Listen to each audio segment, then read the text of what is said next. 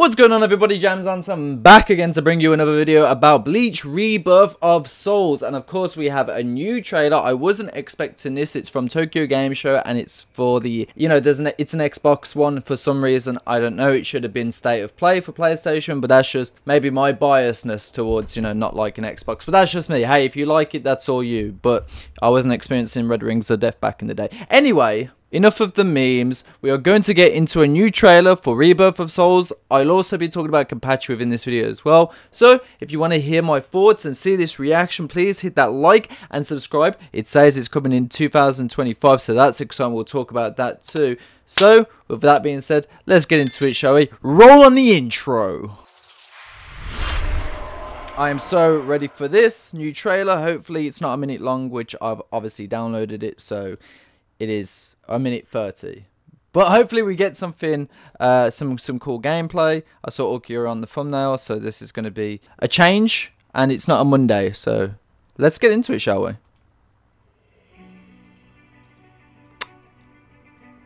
Oh, it's a cinematic, okay. Who's that?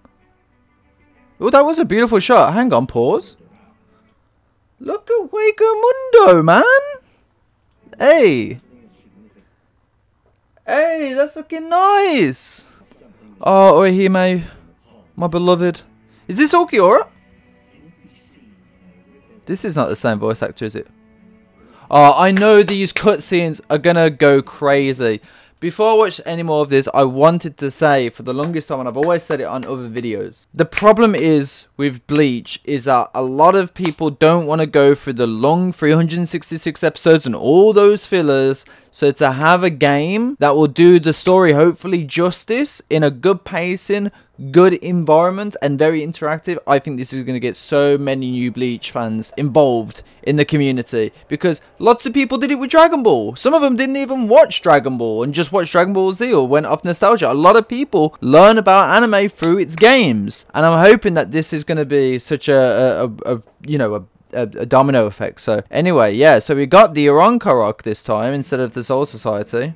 I wonder how, if we're gonna have costume changes in this game too. Like surely because we just saw Orihime in the in obviously there's gonna be Soul Society. There's gonna be like the the schoolgirl outfit, and then of course like the Hueco Mundo one.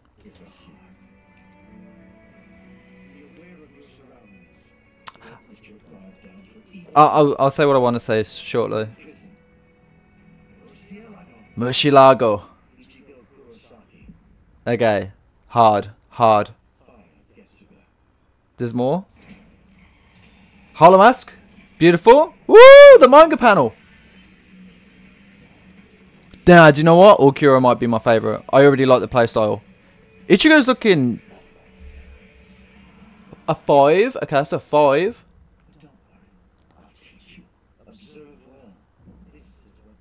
Hey, hard, man, hard. I don't like that.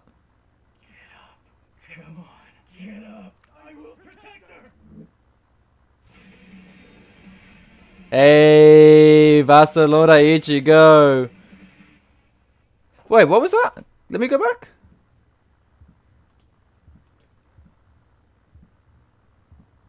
Six? Okay. Six?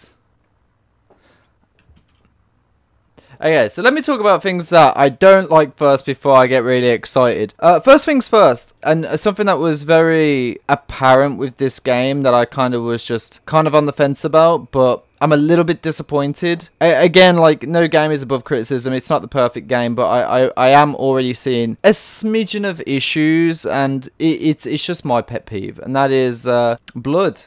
And, I mean, accuracy too. Like I'm a I'm a bit of a nitpicker, but the reason why I say this too is I mean, where was it? Like, he's wearing his full Bankai uniform when Ulquiorra was about to do the, the blasting of the hole, which, you know, he was very torn, like his, his outfit's torn. And again, I know this is a cinematic. Tr to be honest, it can be changed in, like, the final product. And there's, a, like, there's a lot of, again, nitpicks that, you know, I, I have about this. But I go back to when I was doing the beta testing for uh, Bleach Soul Resonance, a mobile game that is yet to come out yet, but it is perfect. It's it's in in terms of like the in terms of like the recommendations that I gave to the team. They went in, they followed up on the recommendations. They fixed some uh, certain manga colors. They fixed outfit damage. They you know they cared about the game. And I'm not saying that they don't care about this game because they really really do. But it takes a little bit away from the immersion for me at least. You know, and I get like the blood aspect of things like if it's going to be like PEGI 13 or whatnot,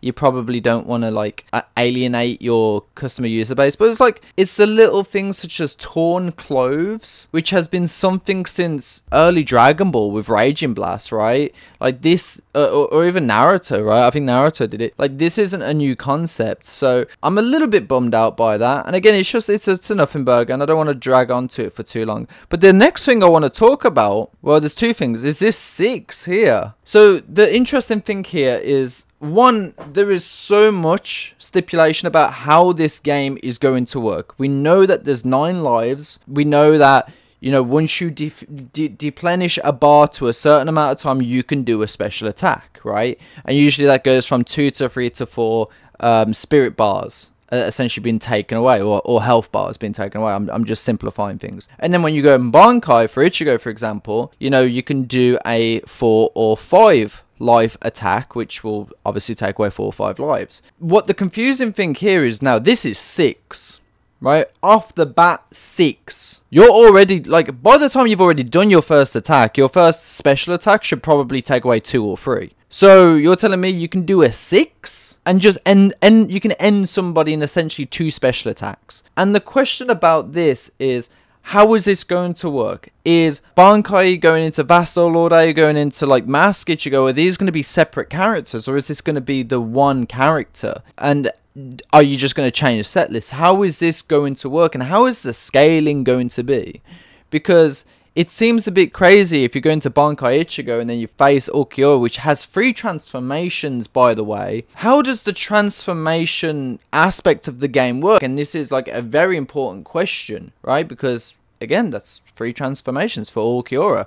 Like, do you have to like level up or, or get pushed to to go into this form? And these are things that like unfortunately these trailers that bandai give us the one minute ones of like character introductions they don't really give us enough information so like the club b inside was the best uh, perspective of this and really gave us an actual feel for the game. I'm sure it's going to be very much explained on how these characters are going to work, but that's like my forefront at the moment is like how do you transform and how do you dictate this 6? I think personally my my prediction is there's going to be more than 9 Konpaku definitely more. I think we're going to go up into the 12s, maybe even uh, maybe even even 10.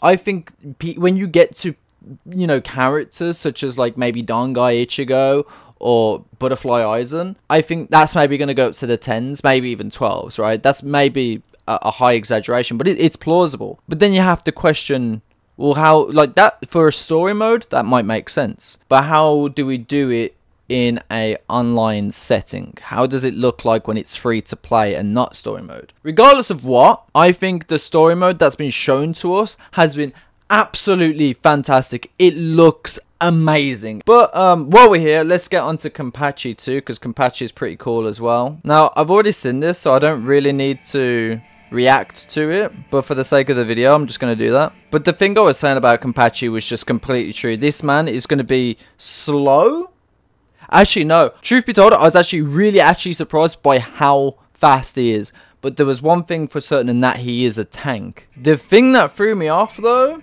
and I want to see how it works as well in terms of like health bars, is this. Well, input is held, so obviously you're holding like an action. Kenpachi holds his arms outstretched in a stance while attacks when the input uh, wait, in a stance and attacks when the input is released. The power of the released attack increases according to the amount of damage that Kenpachi receives while in this stance. So what happens to the health bar? Do you just like, as soon as you're in that stance, does the health bar not move? And that, like surely, because I, I saw the Toshiro thing and Toshiro has his own like mechanic, which would make sense for like incomplete Bankais, right? I would imagine like Ikkaku would, uh, which I'm, I'm, I'm to guess that Ikkaku is probably next. I would imagine that Kenpachi probably has his own gauge. No, because it would say in the video. It, it's how how how long can you hold it? And you could potentially just die. No? Like what happens if you just like keep it there until you're about to die and then release an attack? Does that like end the opponent without doing a special per se? It's it's an interesting concept that I'd love to see work. But he is a brute. And like this looks cool. And when he goes into his final like transformation like this, the reverse thing, he's so fucking fast. Look how fast this guy gets, man. Bam. Wait, where is it? Wait, what move was I thinking of? Oh, I guess it was this. For some reason, I, I remembered it in my head of like him just like dash slicing his sword, but no, just seems like he just dashes. But I mean, it, it looks exactly how I expected Kenpachi to look, to be honest. I think they did a perfect job. And of course, they're going to do like Kendo as his uh, finisher. I would imagine that's going to be a 5 Konpaku killer. But yeah, um, great character. Kenpachi's done. Every character has just been done nice. Again, the only character I'm not liking is Rangiku. But if there's anything that I've learned from all of these games, or sorry, not all of these games, all of these PVs, is that doing one minute is definitely not justice for the characters. Definitely not. Because again, after I saw the crew being inside with Kubo and Morita playing, that gave a great depiction and I don't know if this is the marketing, if it's doing a good job at it. Again, you'll have to tell me in the comment section down below whether you like these terms of marketing. But I feel like once we get through the main characters, like the captains and the Espada, then we're probably going to get like longer trailers with maybe two or three characters. I think we're just like, we're just getting there because again, like I think there's going to be more than 52 characters in this thing. Way, way more. Maybe even 60. And if you're doing one character a week, it, it, we'll still be missing characters by the time the game comes out in early 2025. So I'm very excited for that. So tell me what you guys' thoughts in the comment section down below. What did you think of Ulquiorra? To be honest with you, that's a fight style that I like. So um, I don't want to be basic. I feel like if you say Grimmjow or Ulquiorra to main, I feel like you're being really, really basic. Almost as much as saying you're going to main Ichigo. But I mean, I'm looking at it. I, I kind of want to see how Grimmjow looks now. But with that being said, I'm going to catch you motherfuckers like you guys, of course, have this fine day in hands. And as always, people, peace out.